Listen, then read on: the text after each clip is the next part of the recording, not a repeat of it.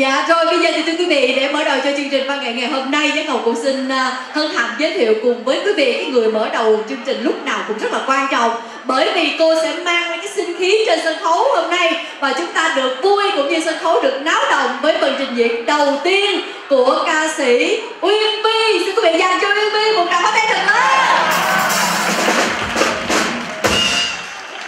Em cảm ơn chị Giang Ngọc rất nhiều. còn Vi xin kính chào đến ờ, toàn thể quý vị của ờ, Austin, ờ, thành phố mà Vân Vi đã đi học ở đây.